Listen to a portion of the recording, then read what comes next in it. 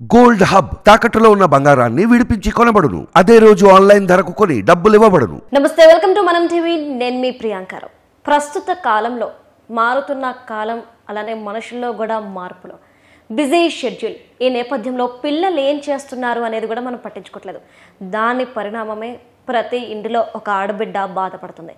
ఈరోజు ఎనిమిదేళ్ళ బాలికపై I think ninth or tenth చదువుతున్న స్టూడెంట్స్ ముగ్గురు బాలురు హత్యాచారం చేసి అమ్మాయిని చంపేసి ఒక కాలువలో పడేశారు.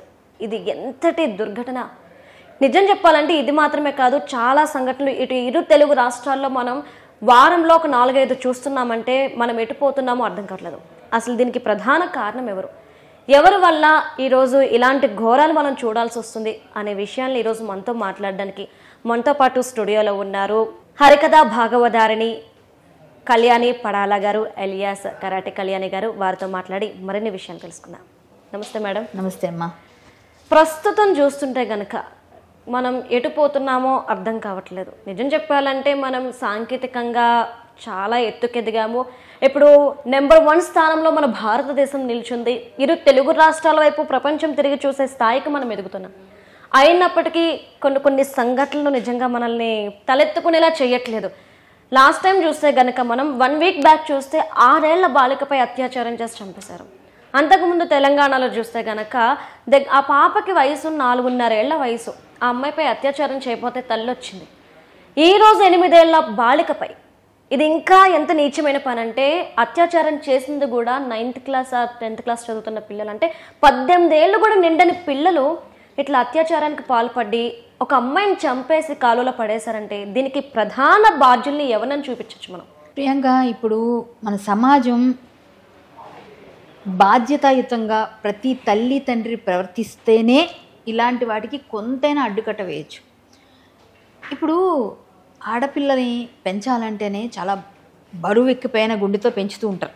అంటే ఎలా ఆడపిల్ల అంటే ఆడపిల్ల అనేవారు. ఇప్పుడు ఆడపిల్లలు అనగానే పుట్టంగానే ఒకప్పుడు వడ్లగింజ వేసి చంపేసేవారు కూడా.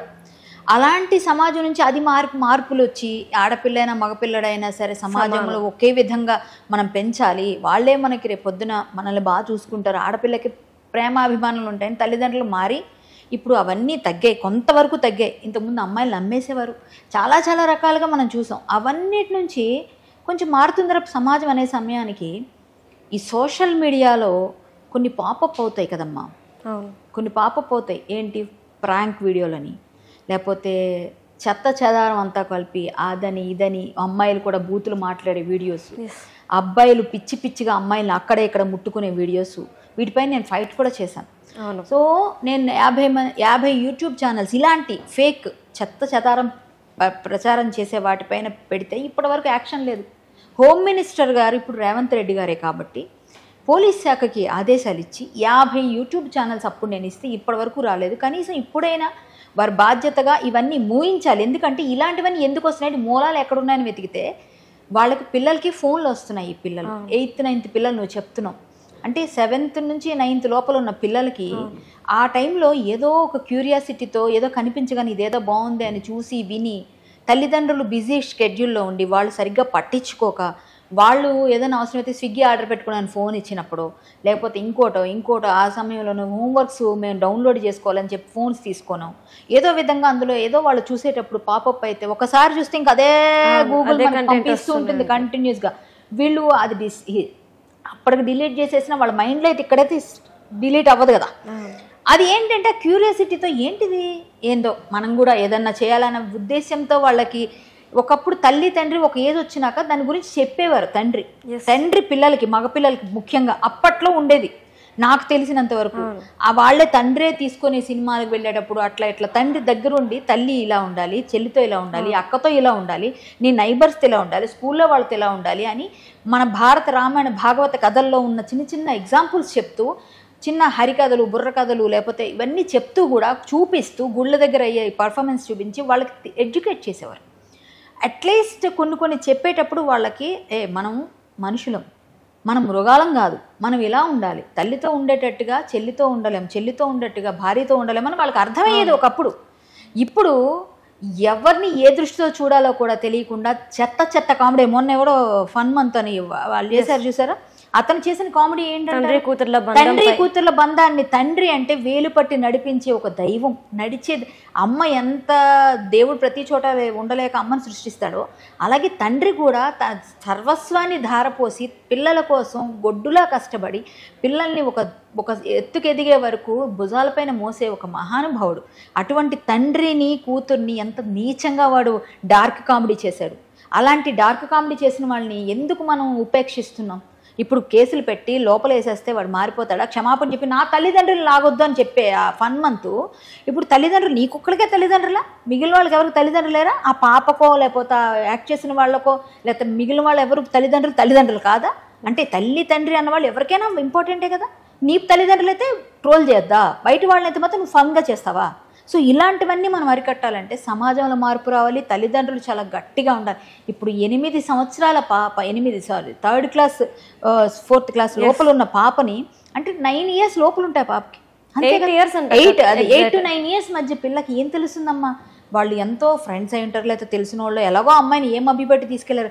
పోనీ వ్యధ చిన్నపిల్లలు వాళ్ళకి తెలుసని మనం అనలేము. వాళ్ళకి ఏది ఏ విధమైన ఇంటెక్షన్ ఉందో తెలీదు. వాళ్ళు తీసుకెళ్ళిన తర్వాత ఏం చేయాలో భయపడి చూసారు అమ్మాయిని చంపేశారు. అంటే ఒక ఒక నేరానికి ఇంకో నేరం తోడైందా ఒక ఇప్పుడు ఒకసారి అబద్ధం చెప్తే దానికి అప్ప కప్పడానికి ఇంకోటి చెప్తారంటారు. సో అదే విధంగా ఇప్పుడు వాడు ఒక నేరం చేస్తే ఇంకో నేరం కూడా చేయాల్సి వచ్చింది కదా. ఇంకో నేరాన్ని కూడా చేసి అంతకన్నా పెద్ద నేరం చేశాడు వాడు. అంటే చంపేశారు ముగ్గురు కలిసి ఆమెని ఆ, తోసేశారు. అమ్మాయి చనిపోయింది ఇప్పుడు ఇంకా మృతదేహం లభ్యం కాలేదంటే. ఎంత పెయిన్ఫుల్ అమ్మా నాకే కళ్ళ నీళ్ళు వస్తున్నాయి. ఆ చిన్న పిల్ల ఎంత పెయిన్ అనిపించుంటుందమ్మా మొన్న మొన్న ఎల్బీ నగర్లో ఒక పాప ఆమెకు కుట్లు వేస్తుంటే తల్లి పడుతున్న బాధ చూస్తే ఏంటమ్మా పిల్ల ఎంత పెయిన్ భరించుంటుంది? అంటే మనుషులా మృగాలా? ఇవన్నీ ఎక్కడ మూలాలు అంటే తల్లిదండ్రుల నిర్లక్ష్యం సమాజం నిర్లక్ష్యం సమాజ బా సమాజ బాధ్యత లేకుండా బాధ్యతారహితంగా సమాజంలో ప్రతి ఒక్క వ్యక్తి ప్రవర్తించడం. మీరు అన్నిట్లో ఎందుకండి వేలు పెడతారు ఎందుకండి మాట్లాడతారు అనే వాళ్ళకి నేను చెప్తున్నా. ఎందుకు మాట్లాడకూడదు? ఇలాంటి వాటి గురించి మాట్లాడకపోతే ఎవరు మాట్లాడతారు? నన్ను చాలామంది అడిగేవారు మీకెందుకండి? మీరు ఇంట్లో ఉండొచ్చు కదా మీరు అన్నిట్లో ఎందుకు మాట్లాడతారని? ఎస్ నాకు సమాజం పట్ల బాధ్యత ఉంది. మీకు లేదు. మీరు సమాజం పట్ల బాధ్యత వ్యవహరించండి. మీ పిల్లల్ని బాధ్యతగా పెంచండి. ముందు మన ఇంట్లోంచి ప్రక్షాళన చేయాలి మనం. ఇప్పుడు నేను ఇంటర్నేషనల్ స్కూల్లో నా పిల్లోని చదివించేదాన్ని ఎక్కడ మోహన్ బాబు గారి స్కూల్లో. అక్కడ నుంచి నేను తీసుకొచ్చి ఆర్ఎస్ఎస్ స్కూల్లో వేశాను. ఎందుకు తెలుసా? అక్కడ వాడికి హెల్త్ ప్రాబ్లం వచ్చింది నేను వెళ్ళడం రావడం ఇబ్బంది అవుతుంది. బట్ నేను ఆర్ఎస్ఎస్ స్కూల్లో ఎందుకు వేసాను తెలుసా? నీకు దేశం పట్ల ధర్మం పట్ల తల్లి తండ్రుల పట్ల ఎలా ఉండాలనేది చెప్తారు. ఇప్పుడు అక్కడ టీచర్ అని పిలవరు ఆచార్య అని పిలుస్తారు స్కూల్లో. స్కూల్లో టీచర్ మేడం ఆంటీ ఇవి లేవు. ఆచార్య అంటారు. ఆచార్య అంటే మన పూర్వకాలం నుంచి వచ్చిన ఆచార్య దేవుడు అని మనం అప్పుడెప్పుడో భారత భాగవత రామాయణాల్లో విన్నాం.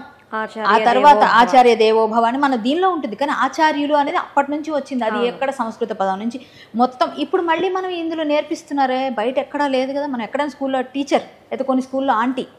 మన నేను చిన్నప్పుడు యూకేజీ ఎల్కేజీలో వేసినప్పుడు చూసాం కదా. ఆంటీ మా ఆంటీ మా ఆంటీ. ఆంటీ అంటే స్కూల్ టీచర్. గురుదేవులు అంటే మనం ఒక భవ భ- భక్తి భావంతో ఉండాలి. ఇలాంటివన్నీ విలువలతో పెంచగలిగినప్పుడు పిల్లల్ని మీరు పిల్లలకి నీ అక్క ప్రతి అమ్మాయిని నువ్వు అక్కలా చూడాలి చెల్లిలా చూడాలి అని ముందు పెంచితే ఆటోమేటిక్గా వాళ్ళ మనసులో ఎక్కడో పాపభీతి అనేది స్టార్ట్ అయ్యి మనం తప్పు చేయకూడదు తప్పు చూడకూడదు అనేది అర్థమవుతుంది. ఈ ఫోన్ వచ్చిన తర్వాత మనం ఎవరిని కంట్రోల్ చేయలేకపోతున్నాం ఫస్ట్ ఆఫ్ ఆల్ మీరు ఎన్ని కంట్రోల్ చేసినా సరే నేరాలని కంట్రోల్ చేయాలి అంటే ఎన్ని లాక్లు పెట్టినా ఇప్పుడు ఫోన్లో ఏం చెప్తున్నారు? మీరు లాక్ పెట్టిస్తారు పేరెంటింగ్లో. మొత్తం లాక్స్ చేసిస్తారు లాక్ చేసిస్తే అది లాక్ ఎలా తీయాలో కూడా యూట్యూబ్ చెప్తుంది. అవును. లాక్ ఎలా రిమూవ్ చేయాలా యూట్యూబ్ పిల్లలకి తెలుసు. నేను మా అల్లుడికి ఆ పిల్లడికి లాక్ పెట్టించాం ఏదో విషయం పైన. రెండో రోజు ఓపెన్ అయింది అంటే తర్వాత ఫోన్లు ఇవ్వడం మానేసాం అది వేరే విషయం. ఇంకా తర్వాత కానీ అంటే చెప్తున్నా పిల్లల దగ్గర మనం ఏం ఎంత కంట్రోల్ చేసినా మా అల్లుడు అది తీసేయడం నేర్చుకుని వచ్చాడు. వచ్చి ఏంటంటే వీళ్ళిద్దరూ కలిసి మొత్తానికి అది లాక్ తీసేశారు. ఏదో గేమ్ ఆడుకోవడానికి అదేదో గేమ్స్ ఆ గేమ్స్ ఆడే టైంలో ఏం పాపప్ అవుతున్నాయి? ఏమవుతున్నాయి మనం ప్రతి నిమిషం వాళ్ళు మానిటరింగ్ చేయలేం. మనం అటో ఇటో వన్ అవర్ వెళ్ళేటప్పుడు వీళ్ళు గేమ్ ఆడుకుంటున్నారులే అనుకుంటాం. ఆ టైంలో ఏదైనా పాప పిత్తల మైండ్లో ఏం వస్తుంది? ఆ థాట్ వస్తుంది కదా? థాట్ అలా డెవలప్ అవుతుంది కదా? డెవలప్ అయ్యి ఇట్లాంటి వాటికి దారితీస్తుంది అమ్మ. మరొకటి ఏంటి అంటే మీరు ఇంతకు ముందు అన్నట్టు ఒకప్పుడు నిజంగా ఇలాంటి ఫోన్స్ అనేవి లేవు. ఎక్కువ స్కూల్స్లోనే మనం సమయాన్ని గడిపేవారు. ఇప్పుడు కూడా పిల్లలు ఎక్కువ స్కూల్స్లోనే అంటే విద్యా సంస్థలు ఏం చేస్తున్నట్టు మనం ఎక్కువ సమయం టీచర్స్ దగ్గర గడుపుతున్నామంటే అంటే మేము కూడా అక్కడ నుండి వచ్చాం కాబట్టి మాకు ఎవ్రీ సాటర్డే టీచర్స్ విడివిడిగా తీసుకెళ్ళి క్లాసెస్ చెప్పేవారు. అమ్మాయిలతో ఇట్లా ఉండాలి అబ్బాయిలతో ఇలా ఉండాలి ఏ సమయంలో వాళ్ళు టచింగ్స్ దగ్గర నుండి ప్రతి ఒక్కటి మనకు నేర్పించేవారు. మరి ఇప్పుడు విద్యా సంస్థలు ఎలాంటి పాత్ర పోషిస్తున్నాయి ఈరోజు సంఘటనలపై? ఇప్పుడు మానవ సంబంధాలన్నీ ఆర్థిక సంబంధాలు అయిపోయినాయి. ఈ విద్యా సంస్థలు కూడా డబ్బు ఎంతసేపు యూనిఫామ్లో ఎంత మనం కోడ్ చేస్తున్నాము? మనం బుక్స్లో ఎనిమిది వేలు అయ్యేదాన్ని పదహారు వేలు వేసామా? లేకపోతే ఇంకొక దగ్గర ఇంకో దగ్గర వేసామా? వీళ్ళ ఫీజుని ఎంత పెంచాం? ఎంత ఎక్కువ ఫీజు ఉంటే అంత గొప్ప స్కూల్. ఇప్పుడున్న సిచ్యువేషన్లో. స్కూల్ ఫీజు ఎక్కువ ఉంది మా పిల్లాడి ఫీజు లక్ష రూపాయలు అని చెప్పుకోవడానికి సంతోషపడుతున్నారు కానీ ఆ లక్ష రూపాయల్లో వాళ్ళు అక్కడ ఏం నేర్చుకుంటున్నారు? అక్కడ వాడు ఆ పాన్ షాప్లోకి వెళ్ళి ఏం నేర్చుకుని అక్కడ ఏం కొడుతున్నాడు కూడా తెలియట్లేదు పిల్లలకి. అన్నీ కూడా అక్కడే వచ్చేస్తున్నాయి. స్కూల్స్లోని మీరు చాలా వరకు గాంజా ఇవన్నీ కూడా కాలేజెస్ పక్కన కొంచెం కొంచెం అక్కడక్కడ దొరుకుతున్నాయి. పాన్ షాపులు బడ్డీ కొట్లు అని మనం ఎన్నో చూసాం. ఎక్కడ దొరుకుతున్నాయి అవి? దాని పక్కనే దొరుకుతున్నాయి. సో ఎవరిది ఇక్కడ అంటే స్కూల్స్లో వాళ్ళు డబ్బు చూసుకుంటున్నారు. మన టైం వరకు మనం పని చేస్తున్నాం మన జీతం వస్తుందా? పిల్లల పైన అవగాహన ఉన్న తల్లిదండ్రులు మాత్రం కొంతమంది. నేను ఎక్కడో చదివాను. నా కరోనా టైం నుంచి నేను స్కూల్లో ఫీ మొత్తం అందరూ పిల్లలు లేరు కాబట్టి నా ఫీజు నేను ఇరవై మూడు లక్షలు వెనక్కి నేను తీసుకున్న జీతం వెనక్కిస్తాను ఒక లెక్చరర్ ఒక టీచర్ ఇచ్చారని ఒక చూశాను. అలాంటి వాళ్ళు ఎంతమంది ఉన్నారు ఈ రోజుల్లో? ఎంతమంది ఉన్నారు? నాది పక్క నా డబ్బు నాదే పక్కో డబ్బు నాదే స్కూల్ నుంచి రావాలి పక్కన ట్యూషన్స్ చెప్పి తీసుకోవాలనుకున్నాను టీచర్స్ కూడా సరిగ్గా బాధ్యతాయుతంగా ఇలాంటి క్లాసెస్ తీసుకోవాలి అంటున్నా. అందరూ అనే అనక్కర్లేదు కొంతమంది మాత్రం. అంటే పరిస్థితులను బట్టి వాళ్ళు మారతారేమో కానీ మీరు ఇంతకు ముందు టీచర్స్ వెళ్ళిపోతే ఏడ్చేవాళ్ళం. గుర్తుందా మీకు? స్కూల్లో ఎవరైనా ఒక టీచర్ తెలుగు టీచర్ ఇప్పుడు కూడా కొంతమందిని చూస్తున్నాం. ఎవరైనా టీచర్ మా టైంలో మా స్కూల్స్లో మేము సాంస్క్రిట్ స్కూల్లో చదివాను అక్కడ ఎవరైనా వెళ్ళిపోతే మనకి కళ్ళవని నీళ్ళు వచ్చేసేవారు ఎప్పటి నుంచి ఏ టీచర్ వస్తారో అని ఏడ్చేసేవాళ్ళం. వాళ్ళని చూసి బాధపడేవాళ్ళం. చాలా ఏడుపు. ఎందుకంటే ఏంటో ఒక బాండింగ్ వాళ్ళతో ఒక ఫీలింగ్ అలాంటిది ఇప్పుడు అవన్నీ ఎక్కడున్నాయి? అవన్నీ లేవు. అవన్నీ ఎవరైనా సరే వెళ్ళిపోతున్నారంటే అసలు టీచర్స్ ఫస్ట్ చేయాలి. మాతృదేవో భవ పితృదేవో భవ ఆచార్య దేవో భవ అంటే తల్లి తండ్రి తర్వాత గురువే. వీళ్ళు ముగ్గురు బాధ్యత తీసుకొని చేస్తే పిల్లల మార్పు ఖచ్చితంగా వస్తుందమ్మా. ఈ ముగ్గురు బాధ్యత లేకుండా ప్రవర్తిస్తున్నంత కాలం మనం మార్పు తీసుకురాలేం. నువ్వు నేను సమాజం గురించి ఎంత మాట్లాడినా ఇంకొక దగ్గర ఇప్పుడు ఈ క్షణం మనం మాట్లాడుతున్న క్షణంలో ఎక్కడో ఏదో జరిగే ఉంటుంది. అంటే ప్రతి క్షణం ఎక్కడ మనం ఆపలేం. జరిగిపోతూనే ఉంటాయి.